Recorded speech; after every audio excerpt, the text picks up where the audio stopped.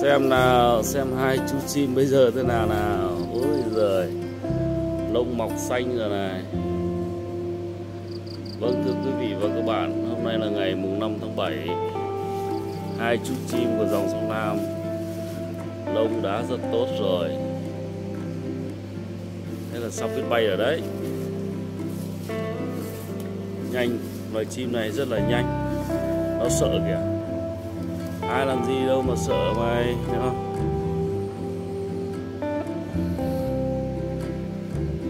Bố mẹ nó đi ở trên uh, dưới trời này xuống bay trời bay từ trên xuống dưới.